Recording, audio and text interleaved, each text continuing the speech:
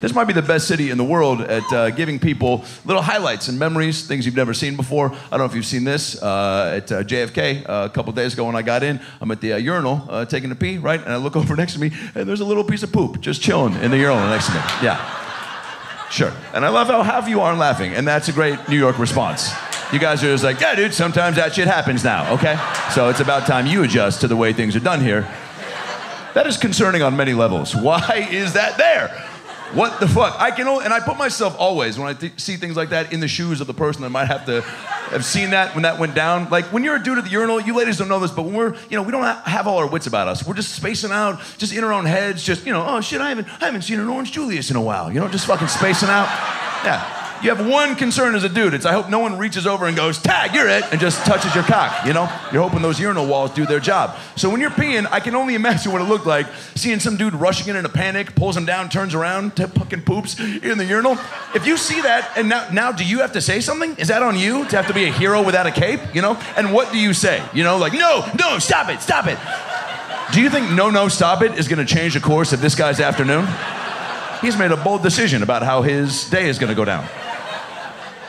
And if you didn't see that, like me, that's an extra layer of confusion that I'm still a little shaken on how much I absorbed that. You know, just seeing a piece of poop, I just walked in, I was like, all right, well, shit. Here I was thinking global warming was the hot button issue.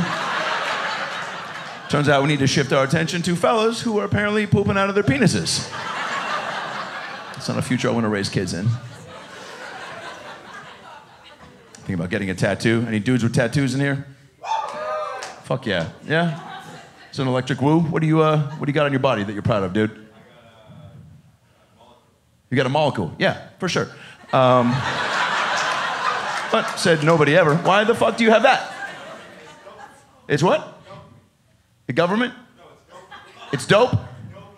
Dopamine. All right, don't fucking take it easy, dude. Yeah. I thought he was like, it's dope, me. It's dope to me.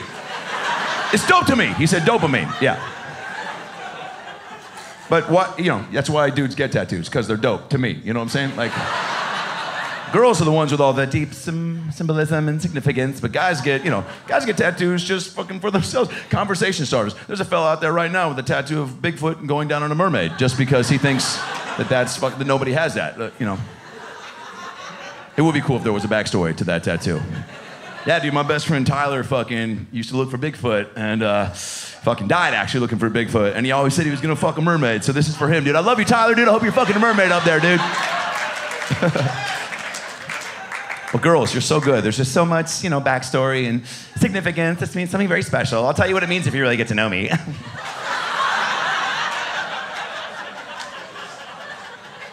okay, I'll tell you what it means. You were super patient. Um, I have a- actually have a tattoo of two hummingbirds spooning inside of a flower. Um, there's a bunch of Japanese lettering above it, and it means it's very special. It means um, live your life to just you know live it up, and whatever that means to you. Sorry, not sorry. And don't let anyone tell you your dreams aren't achievable because if you can see it, you can dream it, you can be it. And if things feel overwhelming, then put on your dream wings and just fly into the sky and catch your dreams and, and take a bite of your dreams and digest them and let them grow and be a part of just what and just you know and, and fuck you, dad. You know, and just all that's packaged in one in one image. Just you got all that, you know, just on one little part of your body.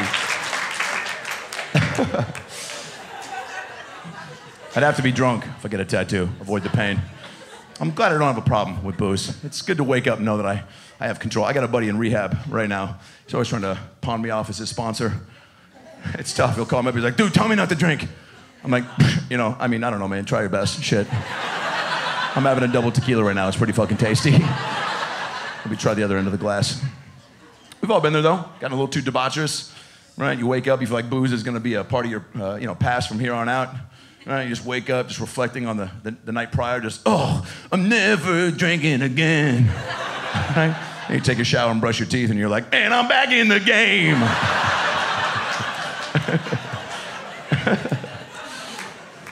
Guys got the best drunk logic too. That's why I love uh, boozing with fellas. Because we just, you know, every dude's got a little drunk MacGyver living inside of him. You know, just, I could solve that. I could, give me a challenge, dude. I'm actually more productive when I drink. Yeah. You don't think I could fucking put out of a bunk bed? It's like, dude, nobody said that, Matt. You brought that up out of nowhere. You know, I'm sure you can put together a bunk bed with enough instructions, you know?